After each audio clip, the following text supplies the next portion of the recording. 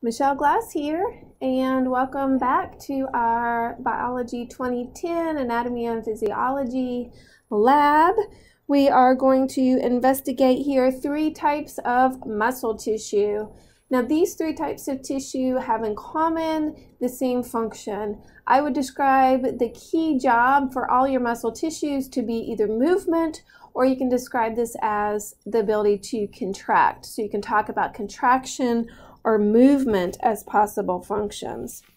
The first one that I want to look at here is your smooth muscle. Your smooth muscle is described as your involuntary muscle or your muscle of your guts or your organs. Now, as you look at your smooth muscle, we'll see that they have a spindle shaped cell. So that means they come to a point at the end and they have a nice big nucleus here. That's easy to see. They make a nice sheet of cells. Now, as you are doing your study of your tissues, you want to make sure that you're putting your tissues together and you're able to differentiate between the different tissues that we've talked about so far. So if you think you might have difficulty differentiating smooth muscle from your epithelial tissue, make sure that you put them side by side. Here's a um, lower magnification of the same tissue. Notice that you have tissue on either side of the muscle, which is one way that you can tell it is smooth muscle versus an epithelial tissue. Now I mentioned this is the muscle of your guts. You will find smooth muscle in your blood vessels. You will find smooth muscle in your bronchioles. You will find smooth muscle in your stomach, small, large intestine, esophagus, um, urinary bladder, uterus. So again, the muscle of your organs. The next muscle for us to look at is what's called the skeletal muscle. Now, this is your voluntary or consciously controlled muscle.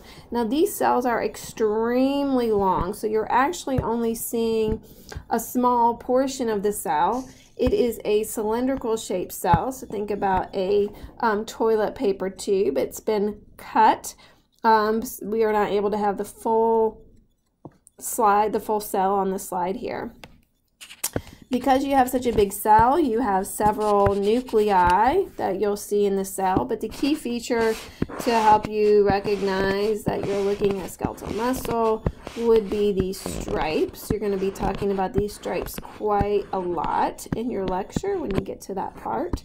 These stripes are called striations and your um, striations are your clue that you're looking at a slide of skeletal muscle.